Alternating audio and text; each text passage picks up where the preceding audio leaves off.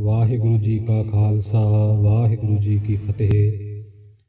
ਜਨਮ, ਮਰਨ ਦੁਹੁ ਮਹਿ ਨਾਹੀ, ਜਨ ਪਰ ਉਪਕਾਰੀ ਆਏ। ਜੀਉ ਦਾਨ ਦੇ ਭਗਤੀ ਲਾਇਨ ਹਰ ਸਿਉ ਲੈਨ ਮਿਲਾਏ।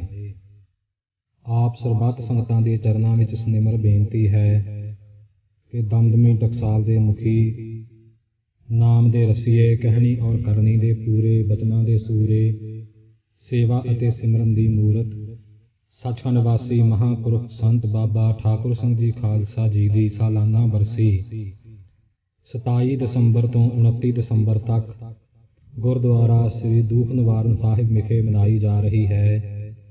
27 ਦਸੰਬਰ ਨੂੰ ਗੁਰਦੁਆਰਾ ਸਾਹਿਬ ਵਿਖੇ ਸ੍ਰੀ ਅਖੰਡ ਪਾਠ ਸਾਹਿਬ ਪ੍ਰਾਰੰਭ ਹੋਣਗੇ ਔਰ ਸ਼ਾਮ ਨੂੰ 6:30 ਵਜੇ ਤੋਂ 8:30 ਵਜੇ ਤੱਕ ਕੀਰਤਨ ਦਰਬਾਰ ਹੋਵੇਗਾ।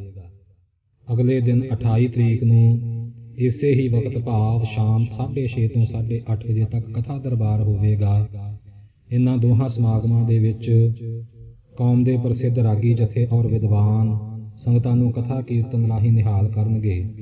29 ਦਸੰਬਰ ਦਿਨ ਐਤਵਾਰ ਨੂੰ ਸ੍ਰੀ ਅਖੰਡ ਪਾਠ ਸਾਹਿਬ ਜੀ ਦੇ ਭੋਗ ਉਪਰੰਤ ਗੁਰਦੁਆਰਾ ਸਾਹਿਬ ਵਿਖੇ ਫਿਰ ਦੀਵਾਨ ਸੱਜਣਗੇ ਜਿਨ੍ਹਾਂ ਵਿੱਚ ਕਥਾ ਕੀਰਤਨ ਦੇ ਪ੍ਰਵਾਹ ਚੱਲਣਗੇ।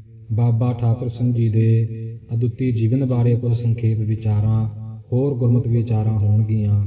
ਸਮੁੱਚੀਆਂ ਸੰਗਤਾਂ ਨੂੰ ਅਤਿਅੰਤ ਨਿਮਰਤਾ ਦੇ ਸਹਿਤ ਬੇਨਤੀ ਹੈ ਕਿ ਸਾਰੀਆਂ ਸੰਗਤਾਂ ਇਸ ਗੁਰਮਤਿ ਸਮਾਗਮ ਵਿੱਚ ਵੱਧ ਚੜ ਕੇ ਭਾਗ ਲੈਣ ਔਰ ਸਤਿਗੁਰੂ ਮਹਾਰਾਜ ਦੀ ਪਾਵਨ ਹਜ਼ੂਰੀ ਵਿੱਚ ਮਹਾਂਪੁਰਖ ਸੰਤ ਬਾਬਾ ਠਾਕੁਰ ਸਿੰਘ ਜੀ ਦੀ ਯਾਦ ਵਿੱਚ ਇਕੱਤਰ ਹੋ ਕੇ ਕਥਾ ਕੀਰਤਨ ਦੇ ਲਾਹੇ ਪ੍ਰਾਪਤ ਕਰੀਏ।